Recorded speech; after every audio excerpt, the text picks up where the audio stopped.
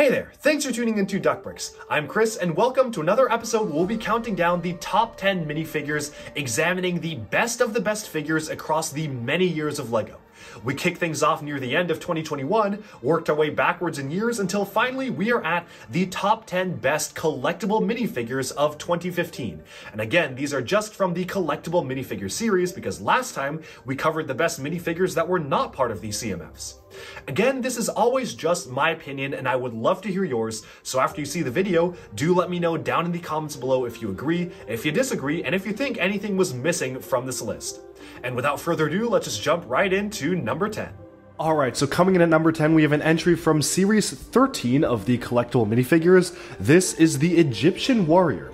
So the Egyptian Warrior introduced a brand new shield element, which you can see right here. Pretty much kind of a standard knight style shield, but turned upside down in the Egyptian fashion, which is a really cool piece to get. It also introduced a new head component, which has been painted in metallic gold and printed in blue, which is really cool to see, and also has printing on the sides of the legs. Unfortunately, this was before LEGO developed the technology to do dual molding, so as you can see right there, the legs which absolutely should have been dual molded and really there was no excuse not to do it are simply not dual molded. Anyways, besides that, which really was an unavoidable problem, the figure itself is really well done.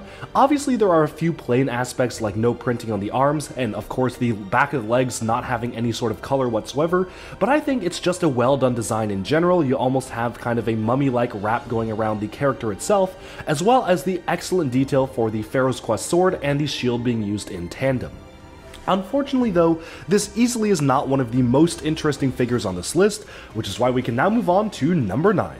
And coming in at number 9, we have a figure from the same series. This is the Galaxy Trooper.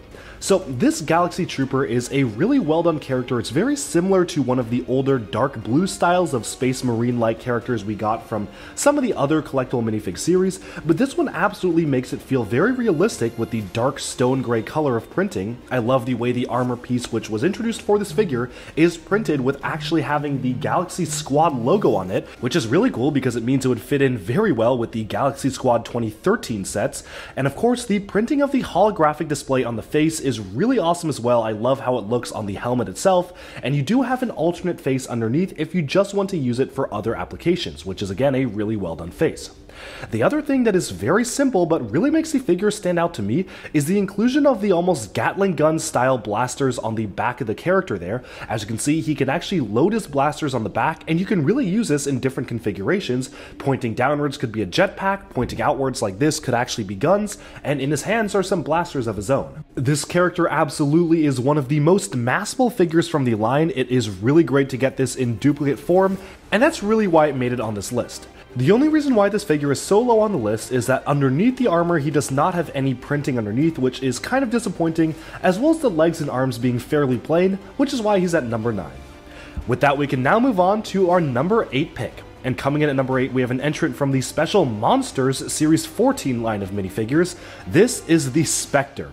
So the Spectre is a really fun character because he kind of fits the iconic classic ghoul or ghost kind of vibe. The special cloth element with holes being ripped in it is really fun, and I love the inclusion of the very simple but effective chain as his accessory. Of course, he reuses the Ninjago 2015 Ghost mold, dual molded in transparent clear and dark gray, which absolutely works for the character, and he also has a very special glow in the dark head, which is very, very cute, even though I definitely would have preferred maybe an alternate face that was a little bit more menacing.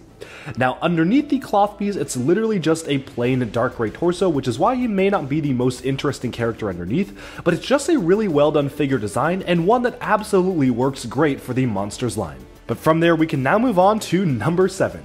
And coming in at number 7, we have another entrant from Series 13. This is the Snake Charmer. So despite the Snake Charmer not having any printing on the back of the torso, which honestly is kind of odd, I really do like the inclusion of a brand new mold for both the headdress, which is awesome to see, really great to see that being reused even today, as well as the Cobra mold, which is a piece that I really wish that LEGO would use even beyond just the collectible minifig series. It's just a really fun character to have in general. The Cobra piece is super fun to have, it's a very rubbery type of piece, and I just really like the design and overall concept of the Snake Charmer, even if he isn't the most detailed in terms of printing.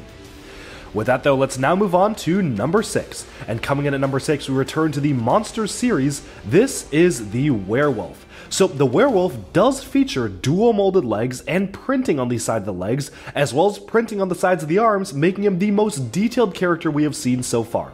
He does reuse the Monster Fighters werewolf headpiece, which I think is great, no need to reinvent the wheel there, and he also reuses the Rocket Raccoon tailpiece, which again, also is great. Again, no need to reinvent the wheel. But what I really find special about the werewolf is that he is a direct callback to the Lumberjack character from one of the early Series 5 collectible minifigs. As you can see right here, the Lumberjack is wearing the exact same outfit, right down to printing on the arms, as well as the jacket being kind of this corduroy or striped pattern with the white against the red. So apparently that figure has now been transformed into a werewolf, which I just find to be hilarious. It is very clearly supposed to be that exact character just in werewolf form, which is a really fun callback and also gives us a special variant of the character itself. All in all, this is just simply a very well done, detailed character. I just love the way it all came together. Moving onwards, we can now move on to one of the Simpsons Series 2 figures. This is Marge Simpson. So Marge Simpson here is in a special outfit with a special dual molded arm for the orange there, as well as a fabric skirt element which looks great on the figure itself. To excuse the actual video here, you see both arms actually were dual molded in orange and white. I just stole one of them from one of the Commander Cody 212th Legion clone troopers I had, but really you can see that this figure is a really well done figure in general. I love the inclusion of the earring printing on the sides of the head there, really kind of makes the figure stand out, and having the flower piece just being held by by the stem is great to see as well.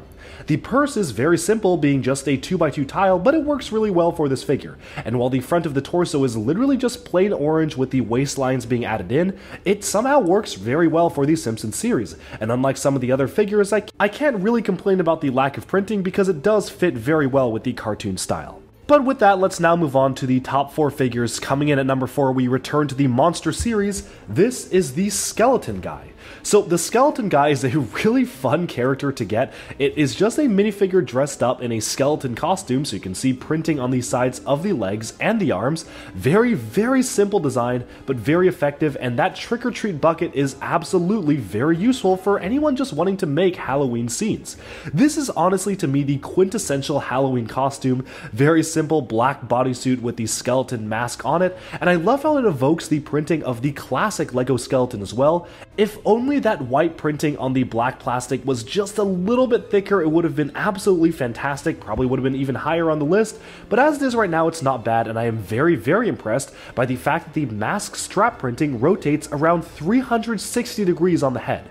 It is incredibly rare that LEGO does stuff like this, although obviously they do have the technology to do it. I can think of many figures that needed it but didn't have it, but this figure went above and beyond by having the 360 degree printing, which I really appreciate. And at number 3, we also have another entrant from the Stellar Monsters line, or Series 14. This is the Crazy Scientist, or the Monster Scientist, as he was officially called.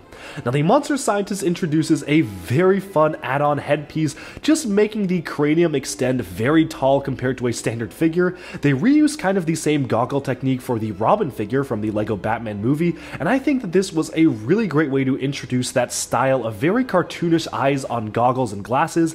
It's a really fun head sculpt to have in general, but even beyond that, the figure also introduces dual molded components for black and white arms, which is just simply really useful even outside of just this character, as well as dual molded black boots on the white legs, which is really fun to get. I love the kind of experiment jar that he has, or the beaker has a little fly in it, kind of hinting that he created the fly monster from the rest of the series. It's just such a kooky and fun character to get, which I just really appreciate the amount of detail that went into it. And if you don't want to use the special headpiece, they also have the headpiece underneath, although it definitely was a great inclusion to have this very wacky head sculpt on the top. At number 2, we have another character from the Simpsons Series 2 line. This is Bart Simpson. So, th specifically, this is the Bartman version of Bart Simpson. He has pretty much the dual molded legs as well as dual molded arms, just a plain torso, nothing too special to see there, but he does have the purple cape as well, and the headpiece has been painted with the purple top, which absolutely looks great, and it's really interesting seeing just how well the painting turned out on the character itself. I love the inclusion of the slingshot element, which was specially made for the Bart figure in the dual molded brown and dark tan. It just looks really great as an accessory piece itself. But from there, there is still one figure that tops even this one, and that is the Classic King from Collectible Minifigures Series 13. So this is a stunning figure. I absolutely love the inclusion of the very specialized cape element. It just looks really classic for depictions of almost kind of storybook style or fantasy kings. The headpiece with the crown on the hair is pretty much just perfect, and everything about this character just screams classic king to me. I love the dark brown or standard brown recolor of the beard, the white kind of fur element on the top of the shoulders of the character itself looks absolutely fantastic, and yes, those dual molded legs really stand out. It's very clear that this was one of the figures that got one of the biggest amounts of budget for the collectible minifig series, and it really shows. I even love that you can actually see printing on the sides of the legs there, it's very hard to notice, but there's actually a jigsaw-like pattern on the red boots there, it's not just a standard dual molding, it really just feels seamless with the character. In fact, really the only annoying thing I can say about the character is that he does not have any printing on the back of the torso, which was a problem that collectible minifigures had for this series in particular, but for this character, he really didn't need it because seriously, when are you ever going to display this figure without the amazing cape behind him? All in all, this is probably one of my favorite collectible minifigs ever. I just love the design of the classic king and really wish that LEGO would bring back some of the mold sets and cape sets used for this character in more modern castle stuff because this is just a joy to get. Alright, and with that, we have summed up my personal favorite, and in my opinion, the best collectible minifigures of 2015. Let me know down in the comments below, do you agree, do you disagree, and do you think anything was missing from this list? And as usual, stay tuned for next time where we'll be moving back one more year in time, taking a look at the best CMFs and non-CMFs of the year of 2014. Thank you so much for tuning into Duckbricks and subscribe for even more LEGO news, reviews, discussion, and analyses coming your way very soon. And bye bye for now.